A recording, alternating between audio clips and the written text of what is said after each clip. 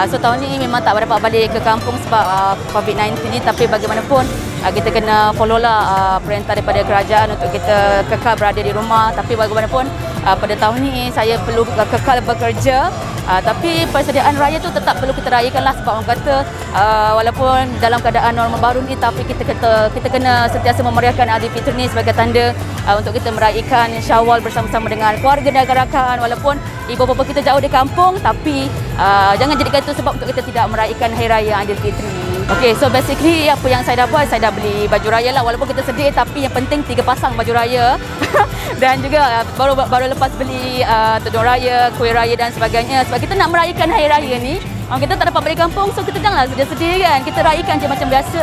Kalau tak dapat raya dengan keluarga kat kampung, tapi kita raikan bersama dengan kawan-kawan di pejabat dan juga kawan-kawan kita lah yang berada di ibu negara. Uh, obviously lah memang kita rasa sedih. Apa orang kata tak dapat beraya hari pertama tu dengan ibu bapa. Tapi orang kata kita tak boleh nak buat apa lah kan. Sebab ini yang kita perlu hadapi dengan situasi, situasi normal baru ni.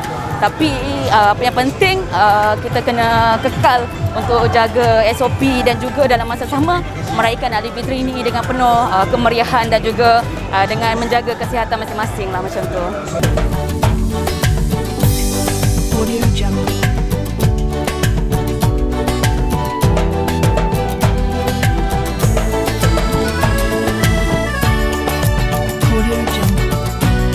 Uh, syukur Alhamdulillah.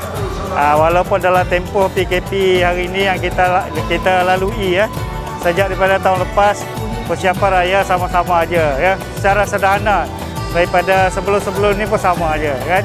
Uh, persediaan untuk anak-anak sama juga.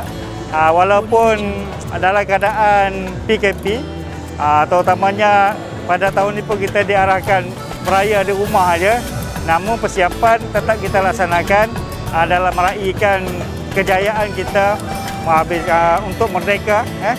Uh, daripada bulan Ramadan jadi kita sama-sama raikan juga. Namun kesediaan dalam persediaan tu menyambut raya tu kita buat ala kadar sajalah eh? Maknanya persediaan still ada cuma kemeriahan tu agak kuranglah. Sebabnya kita mungkin uh, ziarah menziarahi itu di kan dikurangkan so di situ mungkin uh, ada sedikit kekurangan lah perayaan kita tahun dalam tahun PKP ini dengan tahun-tahun semasa sebelumnya. Uh, InsyaAllah uh, seperti sebelum-sebelum ni macam tahun lepas pun kita uh, beraya di rumah. Kita solat uh, raya di rumah. Tapi mungkin insyaAllah tahun ni uh, ada kelonggaran sikit boleh buat di surau, di masjid. Dan insyaAllah uh, bagi persediaan untuk juadah ha, kepada jiran-jiran tu boleh dilaksanakan macam biasalah. Ha? Jiran-jiran kita masih lagi cara santai-santai tapi masih mematuhi SOP yang ditetapkan. Pelaya tahun ni macam biasa je lah. Tapi excited sebab uh, dengan baby baru. Ah uh, tu yang excited sikit lah. Uh, mencari barang untuk dia orang, untuk dia dengan mak lah.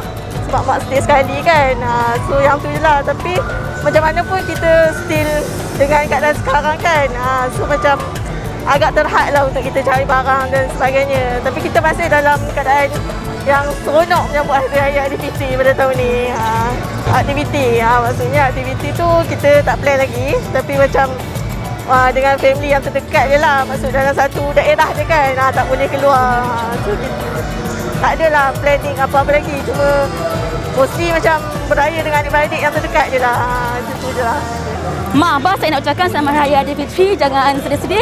Nanti saya pengen duit raya. Don't worry. Merry Raya. Ucapan raya saya nak tunjukkan kepada uh, family family mentua yang berada di Taiping Perak. Uh, dengan ucapan selamat raya Mak Zahir dan Batin daripada kami di perantauan tak dapat nak balik pada tahun ini. InsyaAllah kalau ada rezeki, raya haji kami balik. Uh, dan uh, tak lupa juga uh, nak ucapkan Al-Fatihah kepada arwah ayah dan ayah mentua yang di Kedah dan Perak juga. Uh, so, Al-Fatihah lah. Okey, terima kasih semua. Saya ucapkan selamat Hari Raya Aidilfitri buat semua sahabat-sahabat yang mengenali dan juga kepada seluruh rakyat Malaysia yang menyambut Hari Raya Aidilfitri tahun 2021. InsyaAllah, semoga kita sentiasa mematuhi SOP.